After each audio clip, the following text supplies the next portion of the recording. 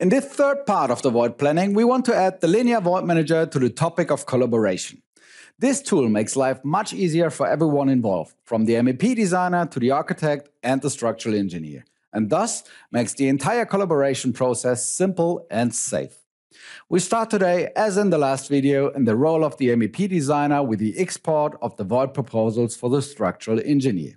This time, however, we are not assuming an open BIM workflow, but already know that the project participants are working with their own models, but also with Revit. So the Linear Void Manager can be used for checking and inserting the openings and slots. If the structural engineer does not yet have the Linear Void Manager in use, we can provide it to him free of charge via this link. Downloading and installing the app takes not even a minute. For the MEP designer, the first advantage of this method is already apparent. In the export, we need only the BCF file. It is not necessary to worry about exporting the void proposals as a model, for example in the IFC format. Let's switch now to the role of the structural engineer or architect who only loads the BCF file we exported into the Linear Void Manager in his model. The Linear Void Manager can be found within the Revit Add-ins ribbon and no further linear installation is necessary to use it. So this free tool can be used by any Revit user. Now we open the BCF file received from the MEP designer and then see the list of void proposals. In this example, I've used only a small selection of the provision of void for illustration.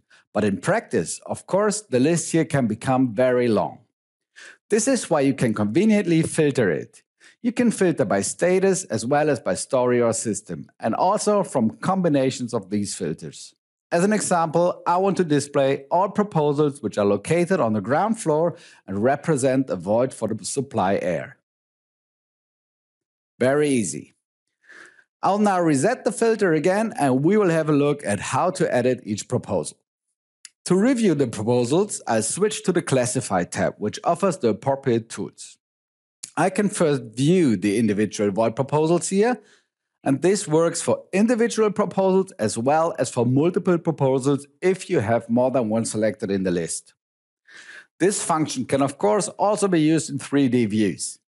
Let's have a look. If the shown void proposals are alright, whereby I can also use the size information in the dialog as additional information for the check, then it can simply be accepted. This provision of void is then automatically converted to an actual void in the architectural or structural model. Another option is to proceed the check for components and to accept or reject all proposals in a wall or ceiling or even multiple components at once. To do this, I first display all the proposals in the floor, and if the suggestions made for a wall, for example, are basically alright, then I use the release component function and select the wall. Click on Finish to confirm the selection and now all proposals in this wall are accepted and the openings are generated. I can still reject individual proposals. To do this, I select a proposal that does not match my requirements and display it in the Void Manager using Mark Selection. If I now reject it, the void is automatically deleted in the model.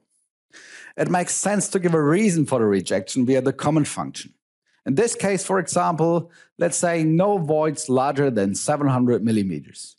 This comment and also the answers of the individual design participants remain as a chat within the coordination process for the traceability of decisions.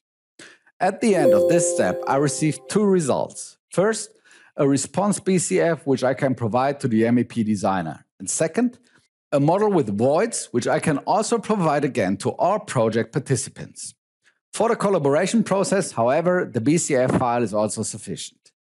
The MEP designer can then, as already demonstrated in the previous video, load this BCF into his model and coordinate it with his proposals. In the model, he then also sees the accepted, rejected, and open proposals, including comments, and can proceed. This creates a secure collaboration process that is comprehensible to everyone for the final definition of all voids in the project. That's workflow instead of workaround.